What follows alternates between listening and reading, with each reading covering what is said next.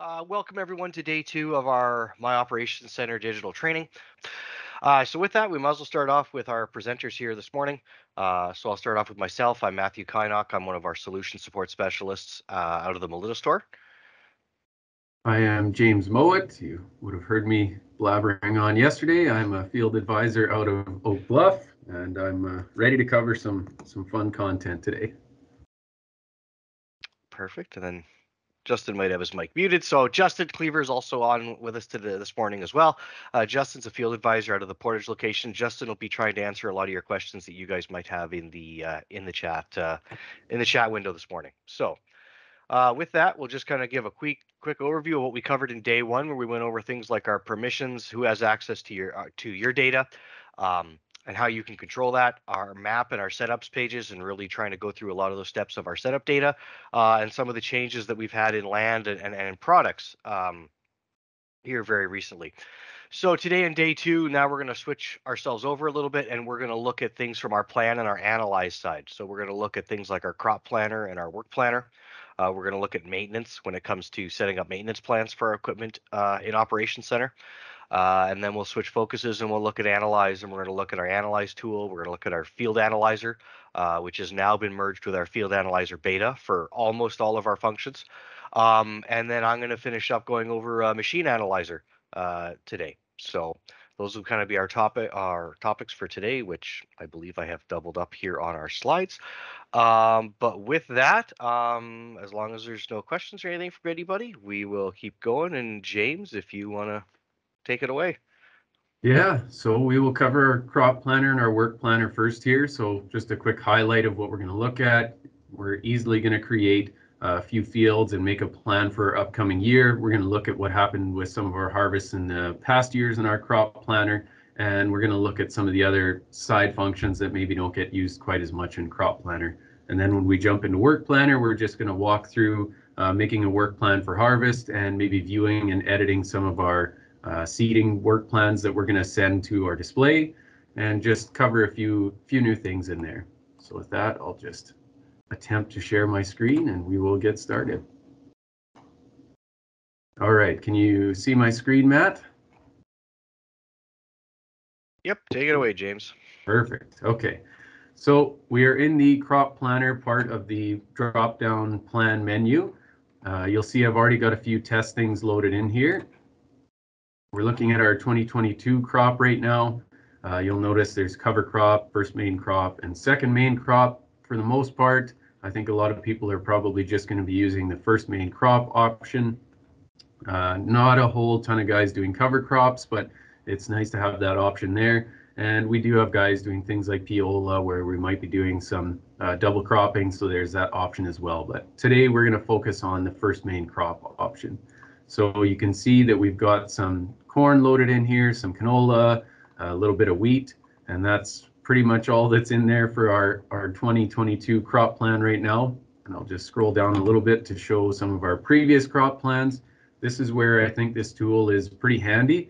If you are trying to uh, plan your crop rotations over multiple years, it's nice to be able to easily go back and look at what your what you had been growing on certain fields in the past few years. It's just a nice, quick, easy way to track and view everything. So if we're looking at our 2021, we can quickly see some wheat, barley, corn fields that we had, and we can go back to our 2020 as well. You can easily expand and collapse some of these menus so you can uh, look at just the seasons you're wanting to look at and not get too confused.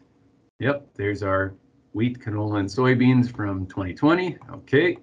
So let's focus on how to create a crop plan for 2022. As I said, there's not a whole lot of options in here. It's uh, pretty straightforward. If you're wanting to add a crop, you simply click on the top right. Let's add some corn as we had down below. And here's where you can have the option to name it whatever you want. Uh, so we have some DeKalb down there already. We're just going to say DeKalb one for making things easy. Once you've entered your crop name, I like to usually go by varieties. I think it's pretty handy for tracking things. After that, you select fields. You can see here for our canola, we've already got some fields selected for that, so we know that's our crop plan for canola right now. We've got a lot of wheat, we've got a lot of soybeans, and you'll see that's all in our 2020 crop plan. All right, so let's just select a few fields here. You know what? We know that all of these are going to be our DeKalb corn. So we're going to click on those and save. Now it shows yes, we have seven fields selected. I want to save that. And then it'll take a little bit, but we should see our DeKalb one pop up down here, and then we'll walk through some of the map functions. And you'll have to bear with us a little bit today. We're getting into, uh, when we get into crop planner, work planner, and things like field analyzer, there's going to be a little bit of lag in some of this loading, uh, just because we have a huge amount of fields loaded into our demo access account. We can see our DeKalb one has popped up here. Perfect. We can see all our corn, canola, wheat.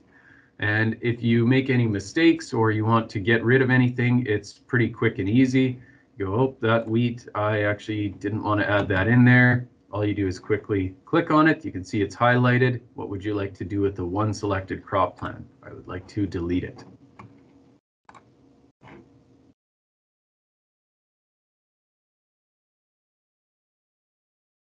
Once that's done, you've cleaned up your crop list a little bit. Okay, let me look at this on the map just so I can see where are all these laid out. Maybe I want to print this off and send it to some of my hired guys. So I'll go to the bottom left here. With us having so many fields loaded, I want to get rid of all the unplanned fields. Now you'll see it zoomed in a little more automatically. You can start to see some of our little dots here and there. Uh, everything is color coded, so you can see our DeKalb corn is in the red. You can see we've got some of our branded wheat in the yellow. I'm hoping that a lot of you don't have farms that are this spread out. so typically you'll see that it's zoomed in quite a bit more and you'll get a better image of what's what's happening. But once you have this loaded, there is a nice little print option that's down here in the right. So you can print or save to a PDF this quick map of your crop list and that can be pretty handy. Some guys really like that to just make a map of their farm each year and see what's going on and print it out, mark it up as much as they want as they make changes throughout the year.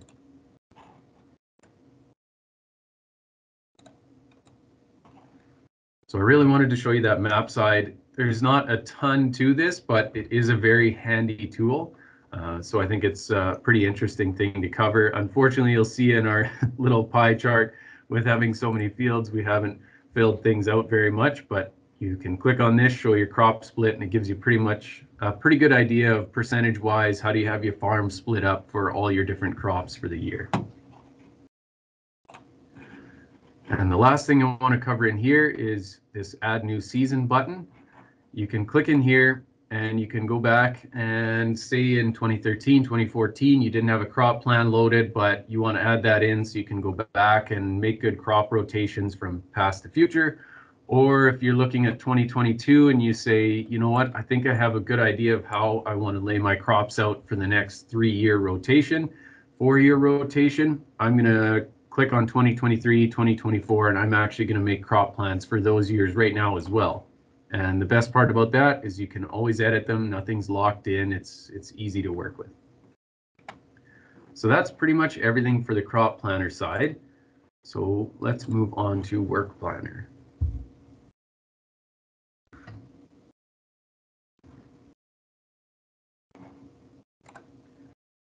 So in here, you can see you've got tillage, seeding, application, and harvest. We're looking at 2022. You can filter by any of your fields, crops, varieties, uh, and then we'll just walk through a little bit of a plan for harvest, and I'll show you some seeding and application afterwards.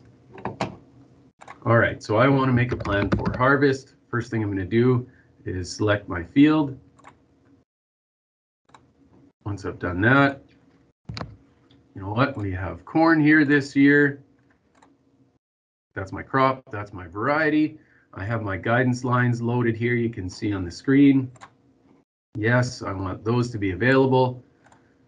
What machine am I going to use? We're going to use our new X9 and you can pick any kind of implement as well. So your headers should be loaded in here after doing all of your product and equipment setups with Matt yesterday. Which operator do I want to use? Matt's been doing a good job uh, since we rehired him, so we're going to have him run our X9 this year. And what do we want to name our work order and what kind of instructions do we want to put in there? So work order, we're just going to call it corn harvest. You can do whatever you want. And work instructions.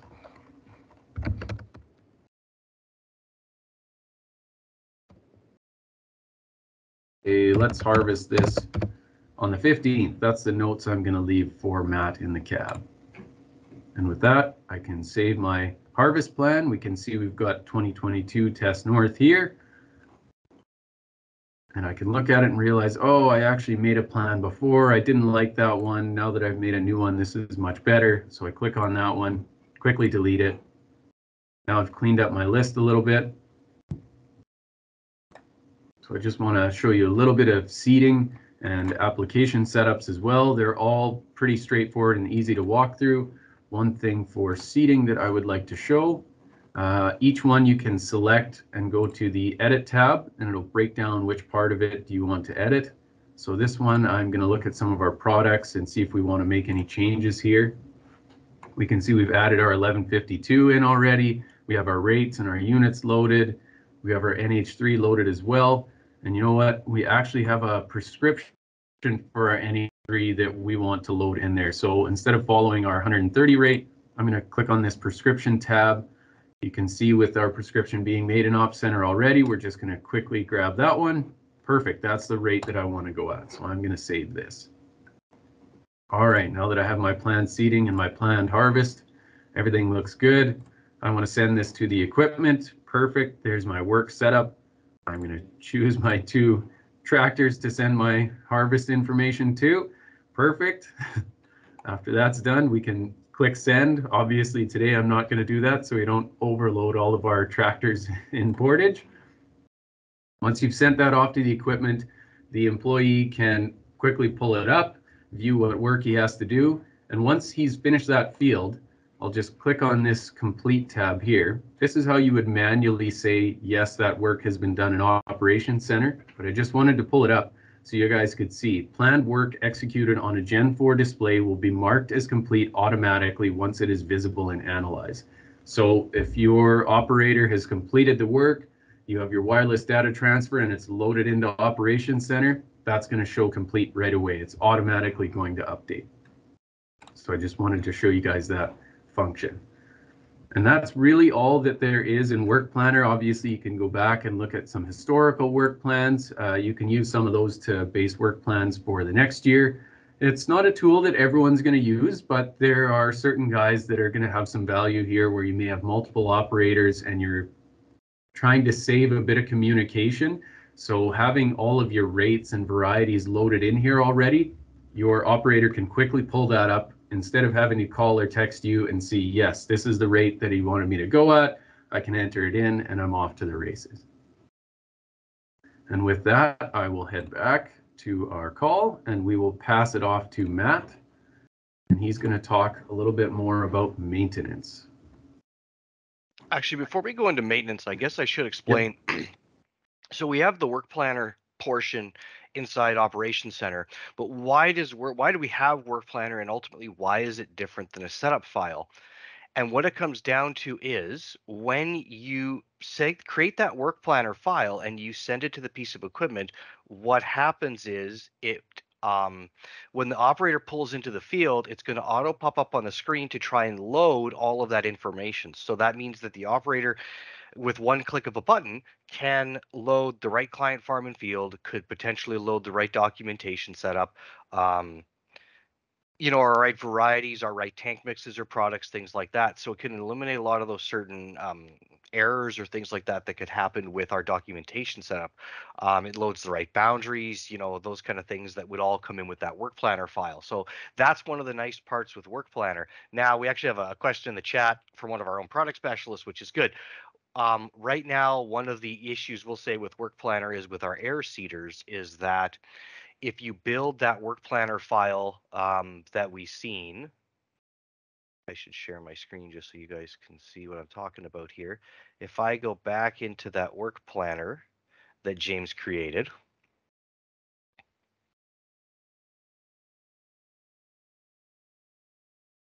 so here we can see right now we're looking at our seeding.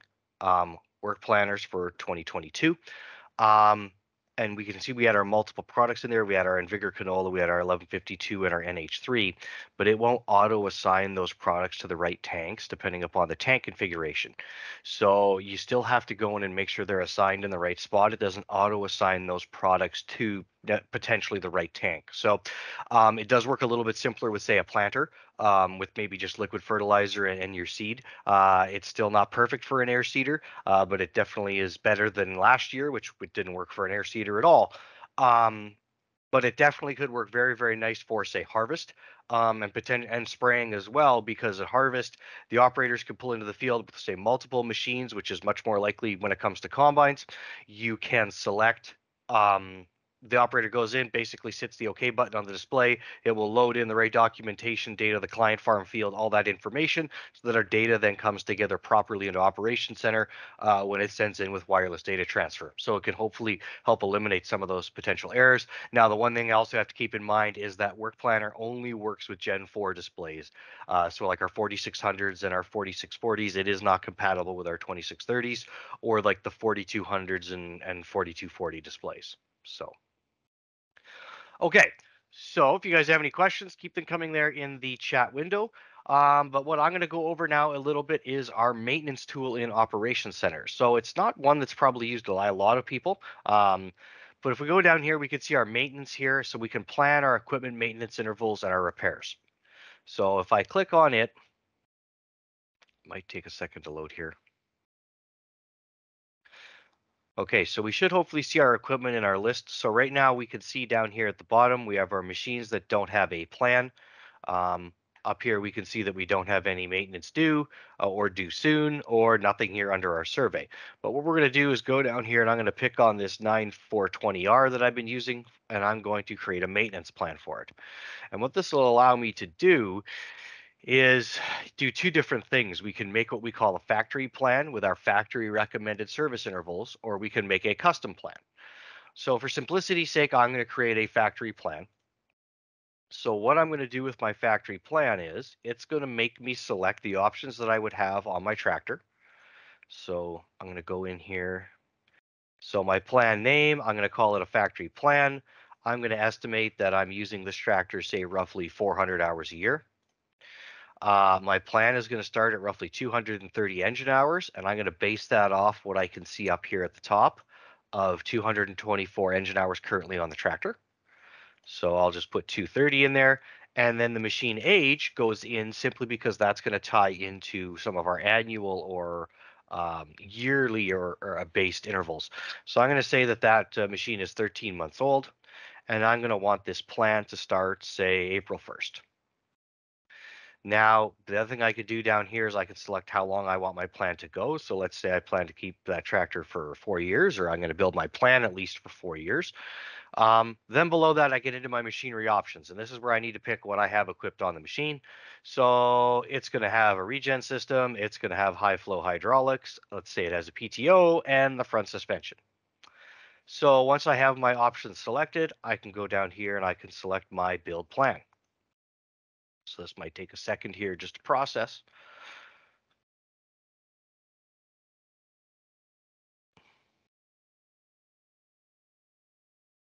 So now that we can see here, it's just going to show me a few things here in my factory plan. So over here on the left-hand side, it can show that my plan is based upon 400 engine hours a year. So it's going to show that I'm going to start at 230 and then it should end at 1830. So that would be my four-year plan. Um, and then it shows for my calendar based over here, uh, how long my intervals are going to be or how long my plan's going to last till. And then if I scroll down, it also shows me here what types of oil and things like that that I would need inside my uh, inside my tractor. Over here on the right hand side, this is where now it breaks out my intervals for the piece of equipment. So we can see uh, every so often. So I say at 250 engine hours here, this is telling me that I should be checking things like my tire pressure, uh, my brakes, my engine oil, my coolant level, things like that. But then I should also be lubricating things like my PTO drive shafts, my drive lines, uh, my hinge pins uh, in my gudgeon, uh, things like that are all things that should be lubricated. So it shows that at 250 hours. We have the ability over here on the right that we can add extra tasks to the interval if we want. So say we had a blade on our four-wheel drive, you could custom add an interval in there to make sure that the blade gets lubricated as uh, greased as well. We can edit uh, the interval as well. And then if we decided we didn't want the interval, we can delete it entirely. So we can customize and add things through here the whole way through. Um, but for simplicity purposes, I'm just going to go over here and I'm going to hit enroll plan.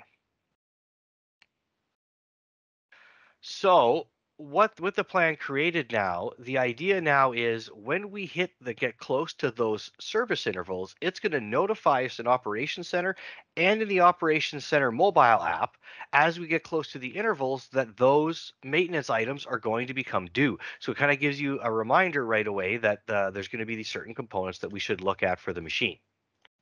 So this is kind of the main purpose here of our um, maintenance tool. We can see over here under upcoming service on the left there, as it loads, we can see that what's going to be coming up soon and how many of those different tasks are going to be in there. We can also see here under our service history, as the work has been marked complete, um, it will keep logs in here of what needs to be done. Now, it shows canceled in here because I've uh, made a couple factory plans just as I'm using the tool a little bit for this tractor. So that's why it shows all these ones as canceled. But um, with if you had completed work in here, it would show up in here for your maintenance intervals for the machine. So might be a tool that would be useful for some of you guys, some especially if some of you guys are lease customers. This could be a handy thing for to remember some intervals and things like that on a lease machine, but even just as much so on machines that you've purchased uh, purchased and owned as well. So but anyways, that's kind of a quick overview of our maintenance tool. Um, but with that, we actually switch back to back to James.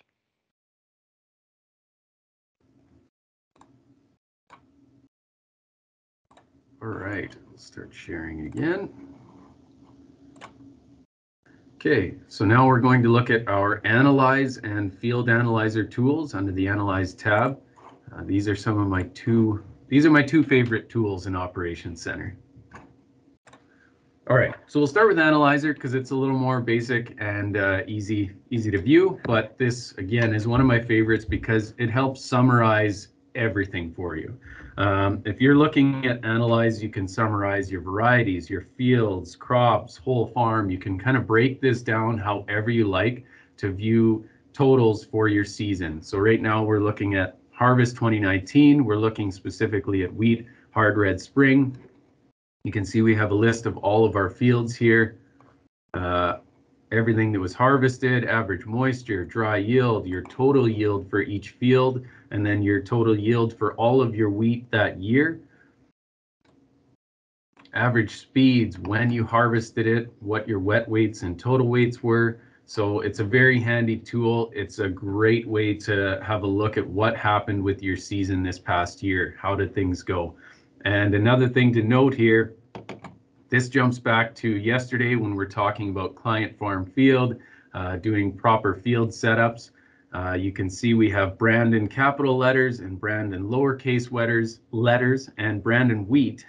so we have three different naming structures here so that's obviously been done a little bit poorly. We should be seeing Brandon wheat varieties, just one here.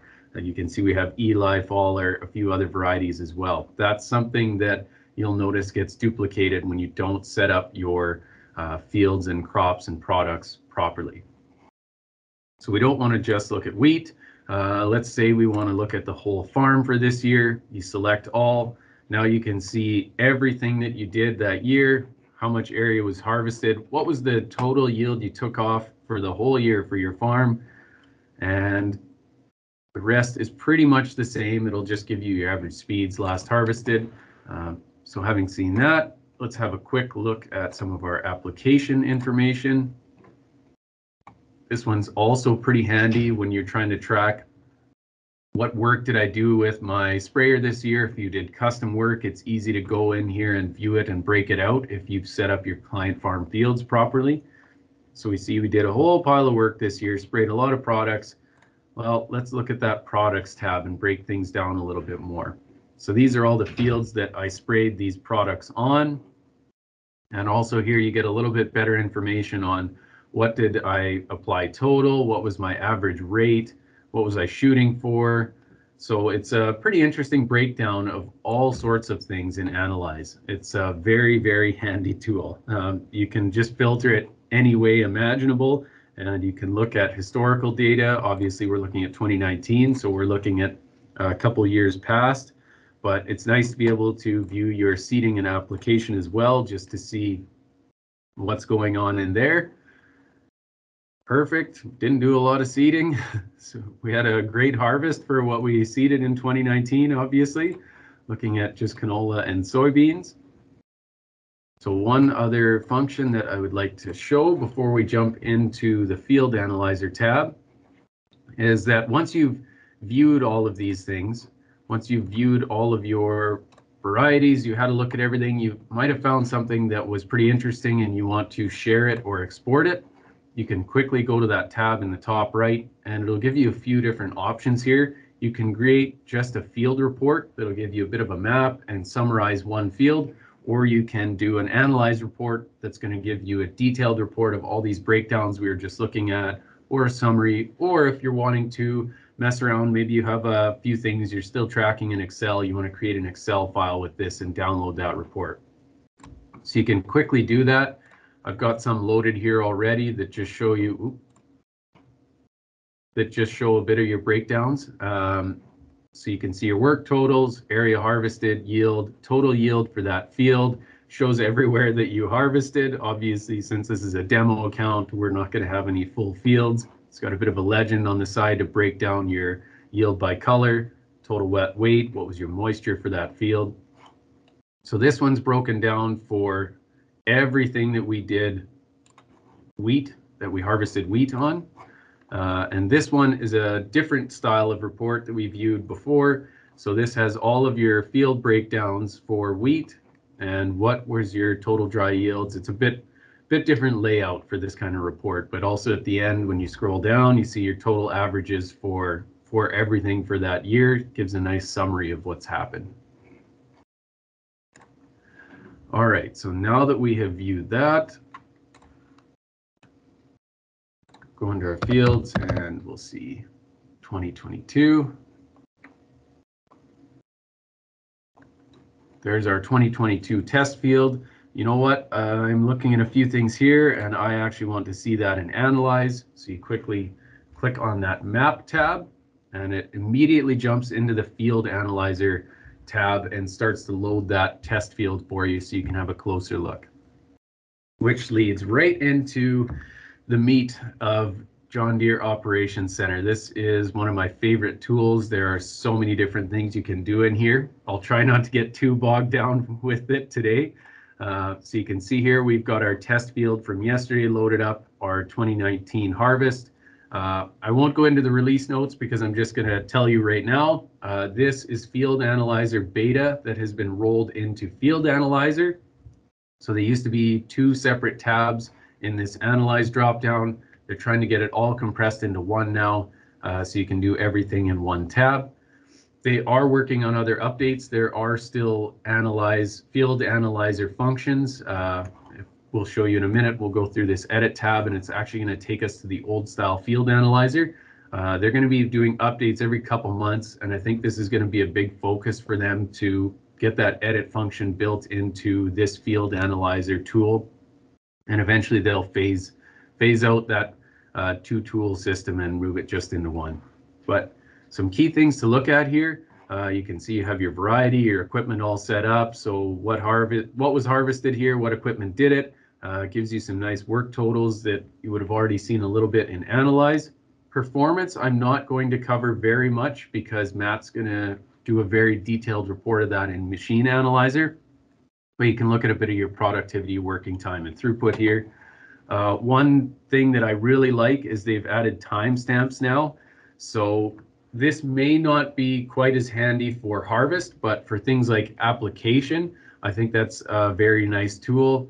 Um, maybe you went out and did some spraying and someone thought it was a windy day and is saying, hey, you drifted on my field. You were out there. I, I saw you. Uh, this is a, a nice sort of CYA documentation to come back to and say, this is when I was in the field. That way you're you're not trying to remember what you did that day. It's been loaded into operations center. Here's when I started in that field. Here's when I ended. Uh, we can't see it in this drop down, but there is usually weather that's been added to this as well. Uh, that will only be tied to kind of the, the closest station, which could be quite a ways away. Um, but you'll have at least some basic weather information for that day as well. So I think that's a bit of a handy tool. So this, a lot of this has been available on Field Analyzer Beta, but I want to show it off a little bit while we're in here. We want to do some comparisons. So let's look at our 2019 yield. We have all these different drop downs. Let's look at our elevation. And unfortunately, we don't have very good demo data sets. Uh, another part of this compare function that's very good is you can look at your harvest and this second tab, you could actually load up your seeding operation for the year. So say you had two different varieties that you seeded some on the south and some on the north, you could actually pull up that variety layer and see here, how did that yield differently? So today we're just going to focus on our elevation. Okay, we can see a little bit here. All this is getting in our way. Let's just get rid of some of these drop downs. Let's zoom out. Okay, does do we have any correlation between our elevation and our yield this year? Doesn't look like there's a lot there. Let's actually do a compare of our moisture. What was moisture like?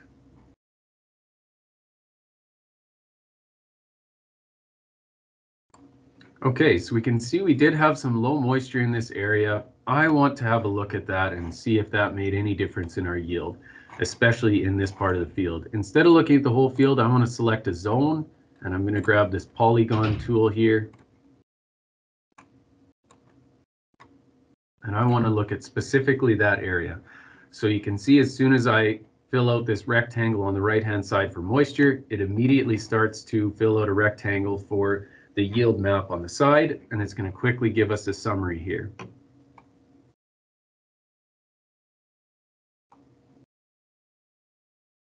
So we're waiting for this to load, but the, the key part is really on this side. Did we have a big difference in yield where we had this lower moisture? So in the selected zone, got about 13 acres versus the whole field. Yield was 60, whole field was 61. So yes, we had some lower moisture in that in that area, but did it make a difference overall? It doesn't look like it did. About a percent difference in moisture, no difference in our yield. So that's great. Did we have difference in our elevation? Oh, that is kind of interesting that we had a foot, we had more elevation in our lower moisture area versus the whole field. So that's a little bit of an interesting takeaway. Maybe in certain years that's going to have a have an effect on things. And there's a data analysis tab here. If we go into that, we get a little bit more of a detailed breakdown on everything. So you can see our moisture here, uh, 12.6 to 12.9. You can see our yield tab and our total yield here. And one thing that is a little bit interesting to note, when we're looking at the whole field here, we see that our yield does seem to drop as we get into those lower moisture areas.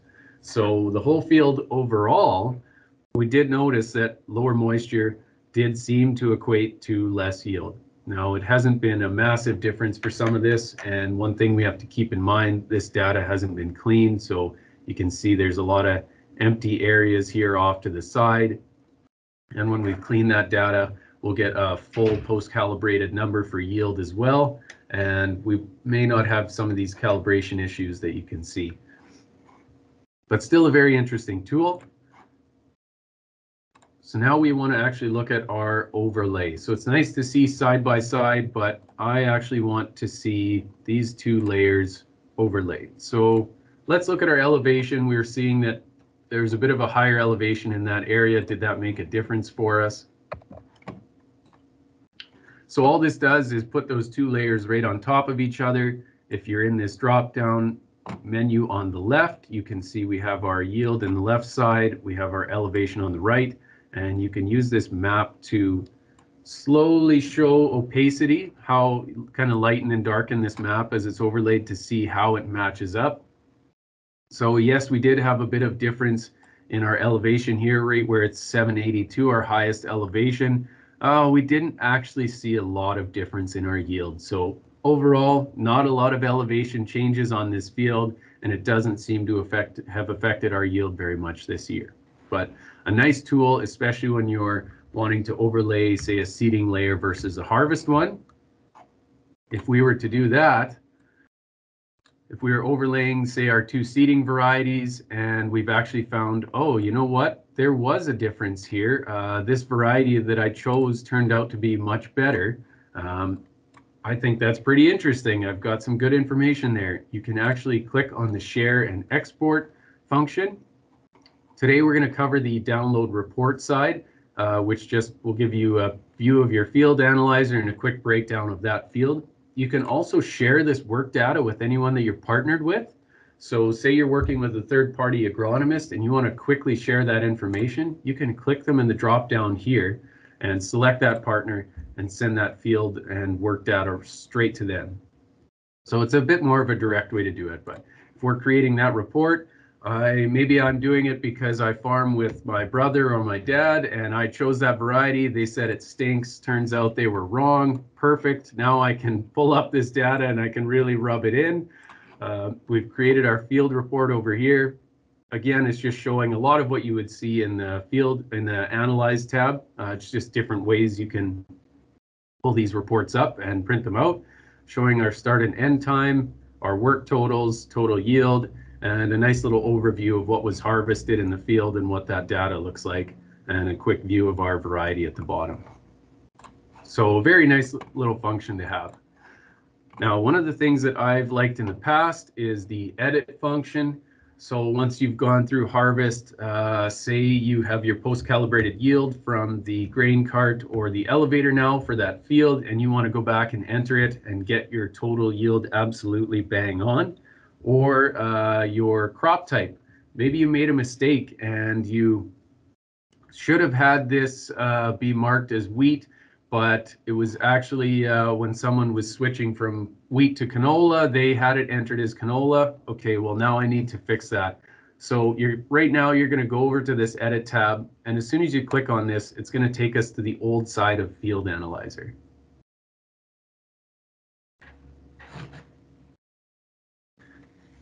All right.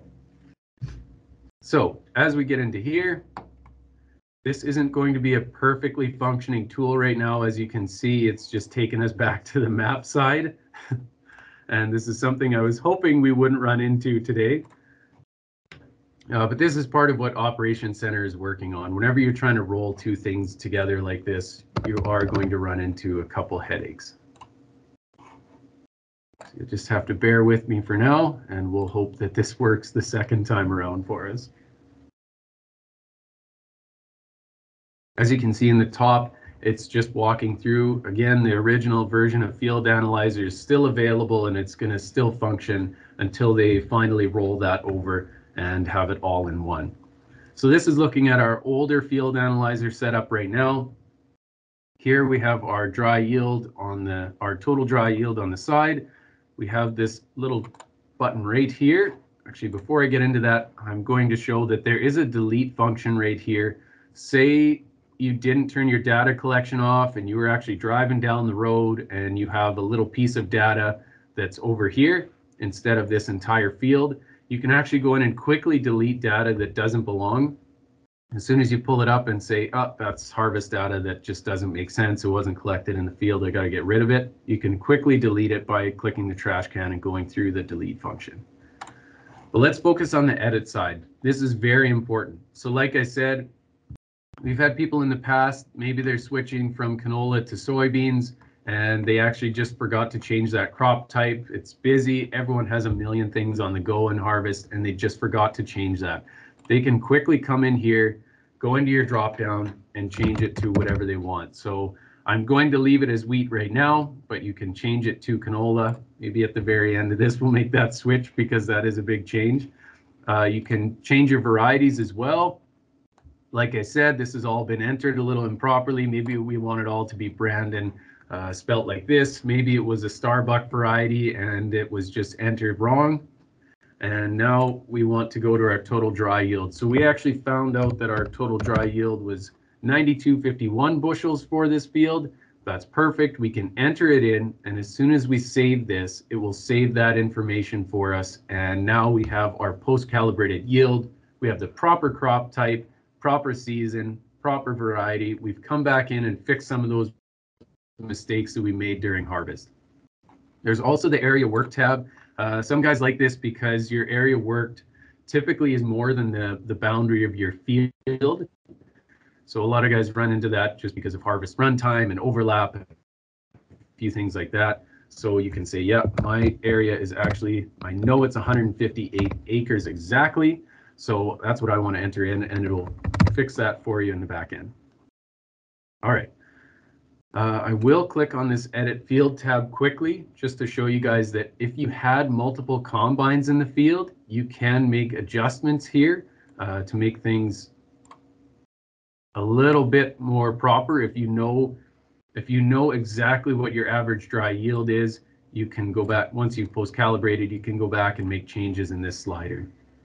So we've only got the 1790 combine in here, but if you uh, harvested the field with multiple combines, you would see that pop up here. All right, we've made all our changes. You know what? This was actually canola. We fixed everything in here now. So as soon as we hit save, it's going to update that information for us. Now this part, you're definitely going to have to get used to a little bit of waiting. It's uh, not very easy for it to quickly change all of that information, uh, especially when you are changing crop types. So you'll see this run for a little while, and afterwards you'll actually see a little pop-up that might say uh, you will see once this map has been edited. And sometimes you just need to refresh your tab over in the top left. Sometimes it may actually take a little bit longer for it to complete that that edit. So you may have to come back later. So don't get worried if you save this and then you suddenly can't see your operational data for that field. That just means it's still being processed by Operations Center and it will come back afterwards. Also, one thing to note, if we go back in here, I will just exit out of this. If we go back in here once we've made those changes and we actually made a mistake when we were editing it, we can go back to we can go back into our field analyzer and revert to our original data. So even if you've made those changes, you can go back and revert it to the original afterwards. And that really covers a lot of what I wanted to talk about in Field Analyzer today. Again, it's a very handy tool, especially when you're looking to compare things like application, spraying information versus harvest. That's a big part of what we uh, find valuable as field advisors. Maybe you did some test strips during the year. As long as you've entered in those separate varieties and you have those separate rates for your test strips, your data has come in here properly. Now you can have a quick look at all these changes I made in season. What happened at the end of year? When it came down to harvest, did it make a difference? Did I get more yield? Did I spend less money and maintain my yield? How did things go? So that's why I think this is such a powerful tool, especially when you're coupling it with some sort of third party platform and you either have someone like a field advisor like myself cleaning that data and pushing it back into field analyzer or you're doing it on your own through some sort of third party organization and pushing that information back. Then you're getting absolutely accurate information especially when you have your total yields all loaded in and you know exactly what you got on those fields. It's very handy all right, with that, I will uh, stop blabbering on for a minute and I will pass things back to Matt and we will start to go over some of the machine analyzer information. Thanks, James. But before we do that, I'm actually going to drop a few tidbits. Unfortunately, I don't have anything that I can show you guys yet, but what I can share is a few things and steps and directions that Deere is going to be taking field analyzer here, what we can kind of look like at in the next year. So one, first off, one of the things that we've had the lack of ability to do in the past is the ability to edit um, some of our data in field analyzer so individual points or, or data cleanup measures things like that. And and now that field analyzer and field analyzer beta have been merged that is some of the next stuff that Deere is going to be working on to make available in operations center is to give you guys some data cleanup tools. So that will be something that will be really nice. Um, one of the other things that Deere is working on is, like we mentioned in harvest, you know, when you end up with those red streaks in your yield map as you come in and out of your headlands and things like that, Deere's working on software to be able to auto recognize the delays and things like that in the crop coming in and registering on your mass flow sensor on the combine. So it will auto adjust the yield maps to be more accurate so we don't see those red streaks. So we shouldn't have data then to clean up in the first place. So these are some of the things that Deere will be working on as they go through the next um, this next kind of year or so in Operations Center. The other big thing, and it's going to tie in a little bit now as to what I'm going to be talking about with Machine Analyzer, is there's going to be a lot more emphasis on tying your machine performance to your agronomic data. So we're going to be able to actually look and break down more in the data. What's our actual machine productivity like? How much actual fuel are we burning, not just for the entire field, but in a specific area? Um, and that's why I'm going to show you guys some of the tools and stuff that we have, what's currently available, and and some of this stuff is going to change throughout the you know the next year or so as there's going to be more and more features available with this. So what we're looking at right now is an example of machine analyzer. Um, so if you look up here at the top under our analyze tools, we have our machine analyzers where I'm in now. I uh, MLC Clays graciously, graciously agrees that I could show their equipment data uh, to you guys to show some examples.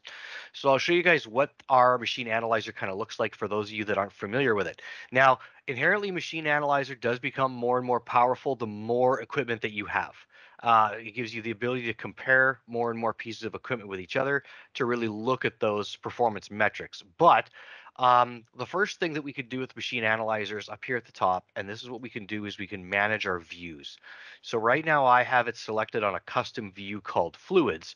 Um, so it's going to give me my average fuel rate, my average def rate, and it's going to compare my average engine load to give me an idea of what those fuel rates are going to look like in those situations. But you have the ability to go in here and manage a view, and we could create a new one and in here, there's all kinds of different metrics that we can see um, to track with our equipment. Now, the one thing that I will point out is when you get into certain ones of these, like if I get into my DEF, for example, it breaks it down by construction and forestry as well as overall def. So there's certain metrics in here that are only going to read and show up if your equipment is a construction or forestry piece, which most of you might not have those pieces of equipment inside your operations center account. So just be careful when you're picking some of these layers that it doesn't say C and F next to them when you're adding a custom layer. So the idea is you can go through, pick all the different types of ones you want so you could see things like our utilization. So this is a very powerful one for our combines. So we can look at how much of our percentage of our time is idle in transport or in working, as well as we can look at things like um, what's our machine state? Is it um, is it idle with a tank full? Is it idle with a tank empty? Are you at max throttle with a tank empty, max throttle with a tank full? Things like that. So it lets you maybe draw some conclusions. You know, are we waiting for a grain cart? Is the operator sitting idling inefficient? You know, things like that. There's a lot of different metrics that we can look at with it. But um, one of the other ones we can do even is um, how much are we using precision technology? Do we using some of the technology on our combines?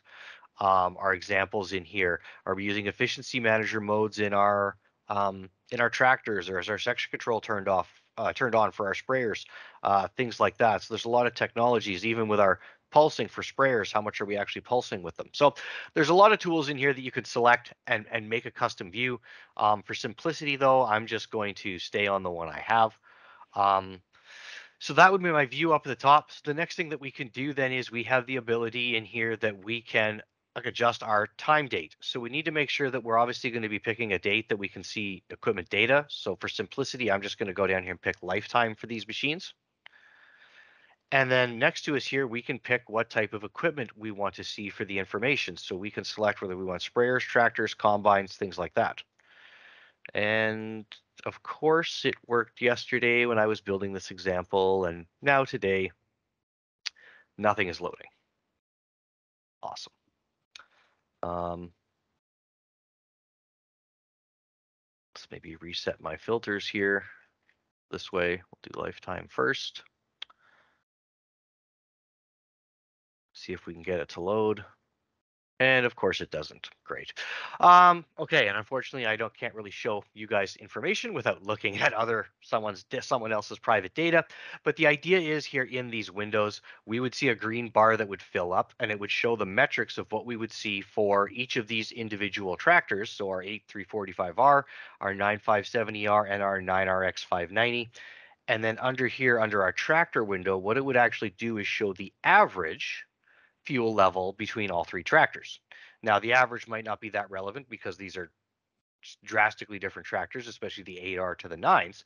Um, but where this tool becomes useful then is we can actually look at, for example, and compare um, if you had multiple combines of the same model, you could look and see what the different uh, fuel rates are, what the different productivity levels with the combines could be, uh, DEF consumption, technology usage, things like that. So you could really look at different things. And then when you get to your tractors, you can look at things like um, how much actual horsepower are you using? What's your actual average engine load while the tractor is being worked? And that can give you an idea that if you have a, a 590 horsepower tractor, for example, like this one, but you're only running it constantly at the 40% engine load while you're doing your main tasks with the tractor, maybe you don't need a 590, maybe you need a 540. So um, there's things like that that you could do and look at, at, at certain tools um, for this equipment. So I'm sorry, guys. I apologize that it's not working. It's unfortunate. It was working great yesterday, um, but not today, unfortunately. So I'm not sure why. Um, but with that, one of the other things that I'm going to do is show you guys a little bit of how this equipment data is now actually tied into Field Analyzer. So I'm going to go into my Field Analyzer tool. And I don't have permission for his account, which is good for his agronomic data. But what I'm going to do is I'm going to look at some demo data here from from John Deere. So what I'm looking at now is a yield map here for some corn harvest in the States. So we can see things like here, like James was saying, our start and end dates, some of our work totals, some of our performance totals, a variety if it had one assigned, and our piece of equipment over here to the right. Um, so, so there's some of our our metrics, excuse me, that we can see. But one of the some of the other things that we can do in here is our data analysis tool. So if I select over here, now it's going to ask me to add another layer. So if you have uh, your display up to date and your MTG up to date with 2021, if we go in here into my corn harvest layer, you'll start to see some different layers in here we didn't have before of data. Things like our equipment layer and things like our fuel efficiency, fuel rate per area, and fuel rate per hour. So I can pick, say, first off, something like my piece of equipment. So if you had multiple pieces of equipment combining in this field, it does take a few uh, a few seconds for this data to process in here. But if we had multiple, say, S770s or S780 combines in the field, it would break down the specific acres har harvested for each, the yield recognized from each, the total bushels, moisture, things like that. But if we switch from our work totals here to our performance, it would actually break out now and show us what the actual productivity and average speed per machines were, the working time, how much actual fuel per machine, the throughput, things like that, uh, that for the combine. So um, it's kind of one of the nice things that you can do is it actually, this is what I was kind of talking about where we're starting to see the agronomic information actually tied in with um, the agronomic data. So it actually gives us a much better visualization of some of the productivity um, with our machines. So you can see on here that that combine was averaging 6.2 miles an hour, doing almost 30 acres an hour in this field, um, and and uh, hitting almost uh, 7,900 bushels per hour uh, in this field and you can see the fuel rate tied to it as well. So those are some like some kind of cool metrics that we can kind of look at for some of the equipment. But if we change this over down here now to an example of say fuel per area, it will change in my analysis tool as well. And I'll take a second here again just to just to process. This one will probably take a touch longer than the last one. As you can see, it takes a little while longer to load some of these things. Uh, what we found is customer accounts typically work quite a bit faster. It's just because we have so much demo data and demo fields in here that it seems to really grind things to a halt. That's right. So here we can see now, because we're looking at our yield and our fuel rate per area, we actually have it broken down here on the left of our actual gallons per acre that we were burning, the speed that we were going while we were burning that fuel level, our productivity at that level, um, how much time we spent at each one of those levels, um, and things like that. So we can actually start to break down, um, even when it gets to certain yield areas and things like that. You know, uh, were we less efficient or more efficient with the combine? Um, and where this kind of ties in is we actually have one. I, I was speaking with one operator, and he does fungicide trials in canola. And what he does is he looks at this data now to see um, was he burning more fuel in certain areas of the field and does that correlate to a fungicide trial to show that maybe our certain fungicide keeping the plant health better they're staying greener and he's comparing that to the maybe the moisture level of the of the fungicide trial as well um, to try and draw some conclusions on was the fungicide effective or not. So I'm not going to say it's foolproof, uh, foolproof, pardon me, um, but it starts to tie in a lot of different things that we can look at when we can compare the equipment measurements with the agronomic measurements. So um, it's kind of some cool set of tools that we can start to look at and, and to really analyze and really look at that that machine productivity. Um, so I just kind of wanted to give you guys an example of what that kind of looks like um, and some of these new features that we have in Operations Center that you could look at. So um, with that, that's kind of everything I had for Machine Analyzer um, and, kind of showing it how that machine equipment now ties into Field Analyzer as well. Um, I guess I would be remiss to point out the same thing like we've seen in a lot of our other analyzer tools. Um, you can go in here and generate reports and things like that from your um, equipment. So I'll just select all of them. This is from the Deere side now. It does give us the option here that we can export things from PDFs, um, more images or bigger reports to print or for, for spreadsheets and things like that as well for that machine information. So there are different tools we have available for that. So, um, but with that, that's um, kind of everything we have here for day two for you guys. Um, is there any other questions that you guys have in the chat? Hopefully, I think we've answered answered everyone's questions at this point. Um, but um, I guess I should share this back again just to finish my. Oh, wrong button. Yeah, if you guys have any questions, we could try and quickly walk through something on Operations Center or if you're looking for a little bit more in-depth information, uh, maybe something you think we can't quickly answer here, make sure to reach out to your field advisor or solution support specialist and we can walk through things a little more specifically. There's a lot of functions built into Operations Center and uh, we could spend hours going over all of it. We really wanted to try and cover the basics for you guys and show you some of the changes that have been made recently. So if you do have more questions, let us know. That's right. And hopefully you guys can see this on the screen there. I've kind of got a shot of our our map up there on the screen and, and our, our solution support specialists and our field advisors, our team that we have. Um, so if you guys have questions, um, feel free to reach out to us um, with operations center questions and things like that, or or if you want to try to enable some equipment with some of this technology, or or just questions in general about bringing that data into Op Center. Um, we're here to support you guys. Uh, with these tools and, and with Operations Center.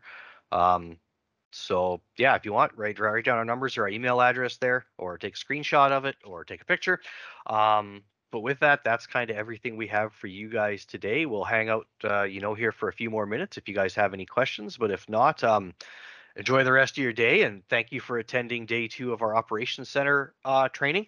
Um, this is probably something that we, we, we will be looking at doing in the future, um, especially considering we do have updates so often in Operations Center. Now, I'm not saying we're going to do it every time there's changes to Operations Center, but you know, at certain times throughout the year, we'll probably be looking at doing something like this again. So, um, anyways, thank you, thank you for your time, thank you for your business, and have a great day. I'll mention too, right before we end, uh, I believe Shannon's been reaching out to everyone, but we're going to have uh, helpful YouTube videos that have been updated and made from John Deere that will be sent out with these recordings. We've also uh, worked with uh, a local John Deere expert who's put together a few materials for us. So we're going to try and send that out to you guys as well. We want you to have as much information at your fingertips as possible so you can uh, figure out as much as you can. And if you run into any headaches, you can always call us. That's right. That's that's all I've got too, Matt. So I guess that's that's it. Yep. Yeah, I'll just hang out here for a minute or two. If you guys got any questions you want to type in the chat or anything like that. Um, other than that, that's uh, that's kind of all we have.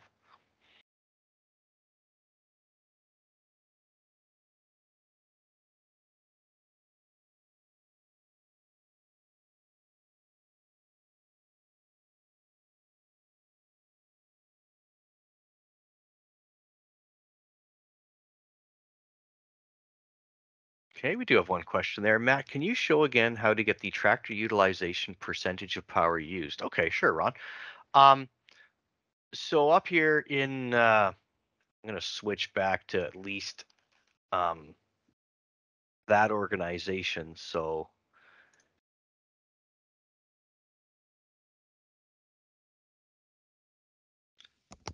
so Uh, what I Matt, can can do. Matt, can you share your screen with us, please? We Oh yeah, that would uh, that would certainly help. Yeah, that would make it difficult to uh, to see without me sharing the screen. Okay, so hopefully um, you can see that now, Ron. Um, so up here at the top under my fluids level, this is where I could go in and I will just I'll just make a new view in, in this circumstance. Um, I'm going to delete this one. So I'm going to go create new view and I might call this one say engine loads. And then in here, I can go down here to my engine load. And this is where I can see things like my average engine load while I was idling in transport or working. Now, the uh, transport one probably doesn't matter much to us because we don't tend to do a lot of transport work under high horsepower situations a lot of the time. Generally, we're much slower with air seeders and things like that. So I'm going to pick my average engine load here for my working state. Um, but that's also then where there might be other things you could be interested in at the time, what your engine speed could be, um, time and gear, different things like that. Um, as well as I'll just go in here under fuel and under agriculture, and I might at the same time just pick my average fuel rate while working, just to tie at the same time to that engine load. Um, would be one other view that I could take. Um, so I'll just use those two for now and then I can hit the next button here. And what it will do is in the second one is this is where I could order uh, swap the order of them, which one I want to show up first in my view. Um, and then if there was one I wanted to hide to tailor the view, you could switch between hide and show. So I'm just going to hit save here. So this is where now you can see here, there would be our average engine load and then our average fuel rate. Um, so this is where you could kind of see those two differences uh, while you're working with the machines. So yeah, I'm kind of a little frustrated that uh, that data's not showing up today when it showed up perfectly yesterday.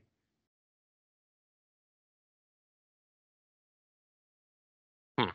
Yeah. Okay. Um, does that kind of explain that a little bit, Ron?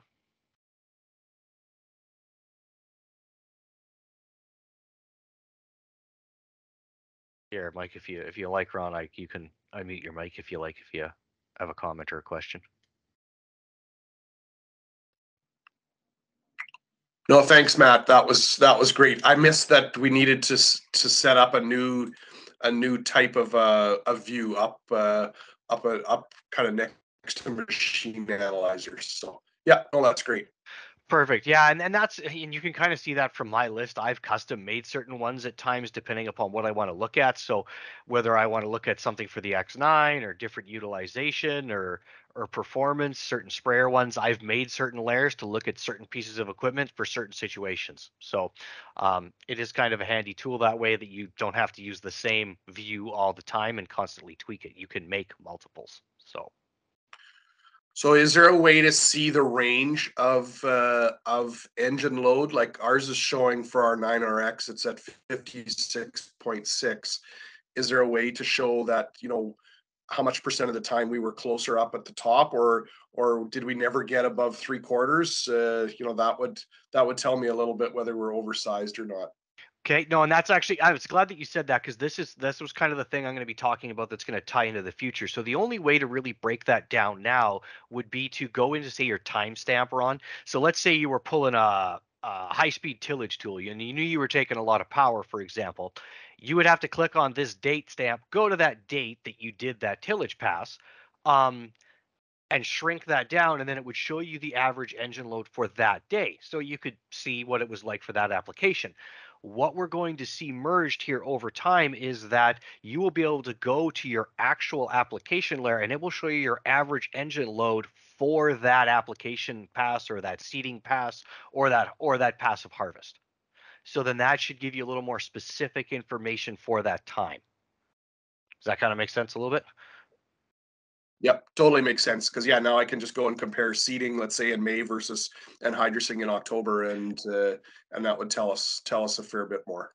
Exactly, and that was always the struggle a little bit with tractors with breaking down that data was because you know there could be a wide range of of engine load utilization for them. I've seen some guys run air seeders at forty percent and then run tillage at eighty to ninety percent. So, um, if it'll be able to break out that data and actually make it more usable and quantifiable for sure. So. Thanks, Matt. no problem, Ron. So I see we have one other question that's related to boundaries. Uh, I'm just gonna pull it up real quickly. Uh, this is something that Operations Center isn't quite as specific with. So we have someone who's wanting to create a, a square, a boundary with a certain dimension and orientation. Uh, if we're getting that detailed, it's quite a bit more difficult with Operations Center. Uh, so I will try and pull things up and share my screen here, but Yeah, I think he's asking, can you say, do you need a boundary to cover an area that's you know yeah. 40 say- feet by 40 feet, for example. Yeah, Yeah. you can't just input that you want a square by 40 by 40, unfortunately. Yeah, the closest thing you can get is there's a measuring tool. Uh, you can see it here on the far right. I'm in my land tab. I've created a boundary. There is a measuring tool that you can use to uh, show lat longs and the total distance that you're going. But yeah, it's not going to, you can get a certain orientation or, or area out of this um, that'll tell you your total area, but it's it's not that specific. So in certain scenarios like that, I would recommend you make a boundary. We've quickly drawn one here. I just grabbed any old field and made a boundary. Make the boundary bigger than the area that you're looking for. And once you have documented everything and gotten that information in, you can actually come in and edit this boundary afterwards. And you can draw a new one that will be based off of your documentation and it will snap right tight to the area that you've harvested or seeded or sprayed. That's kind of the best solution I can come up with for you on uh, kind of that smaller scale operation. Yep.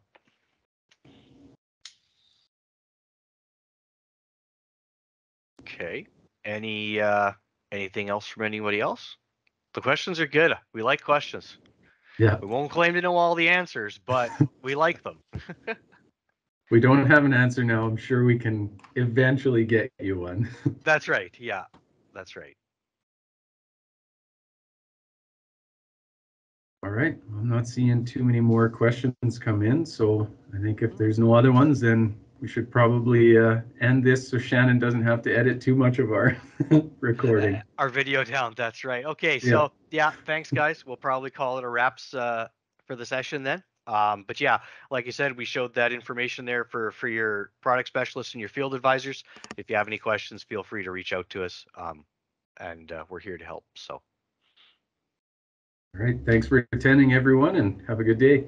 Yeah, thanks guys, and hopefully we can hit the field here soon. So